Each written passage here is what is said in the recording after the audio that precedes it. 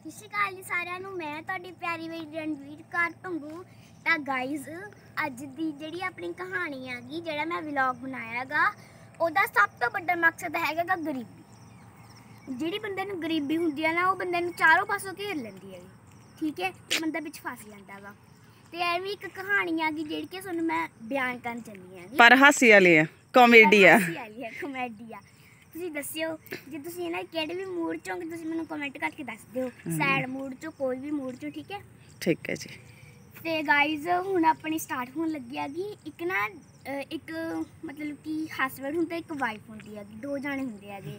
ਉਹਨਾਂ ਦੇ ਘਰ ਚ? ਨਾ- ਉਹਨਾਂ ਨੂੰ ਜਿਹੜਾ ਹਸਬੰਡ ਹੁੰਦਾ ਹੈਗਾ ਉਹਨਾਂ ਦੇ ਘਰ 'ਚ ਬਹੁਤ ਗਰੀਬੀ ਹੁੰਦੀ ਆ। ਉਹਦੇ ਹਸਬੰਡ ਨੂੰ ਨਾ ਇੱਕ ਸੁਪਨਾ ਆਉਂਦਾ ਹੈਗਾ ਹਮ, ਵੀ ਨਾ ਇੱਕ ਘੜਾ ਹੈਗਾ।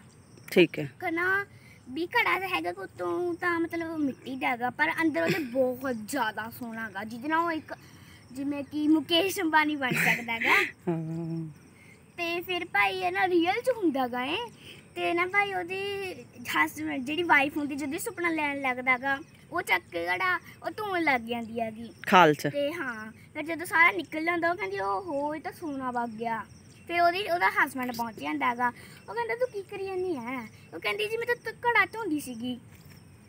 ਤੇ ਉਹ ਕਹਿੰਦਾ ਓਹੋ ਇਹ ਘੜੇ 'ਚ ਤਾਂ ਸੋਨਾ ਸੀਗਾ। ਉਹ ਕਹਿੰਦਾ ਕਿਉਂ ਧੋਤੀ? ਉਹ ਕਹਿੰਦੀ ਐਵੇਂ ਧੋਤੀ। ਉਹ ਕਹਿੰਦੀ ਕਿਉਂ ਧੋਤੀ? ਉਹ ਕਹਿੰਦਾ ਐਵੇਂ ਧੋਤੀ।